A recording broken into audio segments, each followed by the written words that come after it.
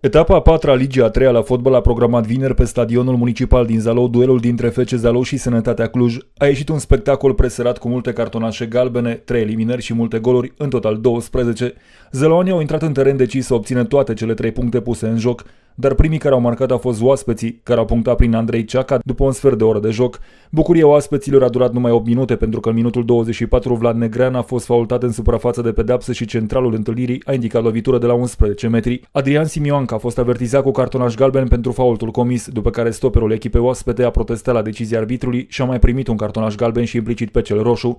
Cosmin Sabo a transformat lovitura de la 11 metri și scorul a devenit egal 1 la 1. Superioritatea numerică a zălăoanilor nu a durat prea mult pentru că în minutul 35 Cosmin Cosma a fost avertizat la rândul său cu cel de-al doilea cartonaș galben și l-a primit pe cel roșu fiind eliminat. Până la pauză, FC Zălău a mai punctat odată prin Mihai Bode, minutul 43, dar oaspeții au restabilit egalitatea în minutele de prelungire punctând prin același ceaca. În primele 10 minute ale părții a doua, FC Zălău a punctat de două ori prin Vad Negrean, minutul 50, respectiv Maior Ișvan, minutul 53. Gazdele au mai beneficiat de o nouă lovitură de la 11 metri obținută de Dumitere și transformată de Mihai Bode și FC Zalău s-a desprins la 3 goluri, scor 5 la 2. Oaspeții nu au dezarmat și Andrei Ceaca a realizat hat-trick-ul minutul 79 punctând cu o lovitură de cap pentru 5 la 3.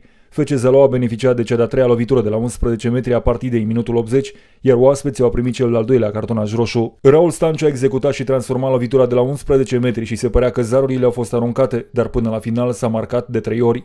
Andrei Ceac a redus din diferență în minutul 83 și a punctat pentru 6 la 4, iar pe final de partidă Marius Domiter și-a trecut și el numele pe lista marcatorilor, punctând în două rânduri în minutele 87 și 90 plus 2.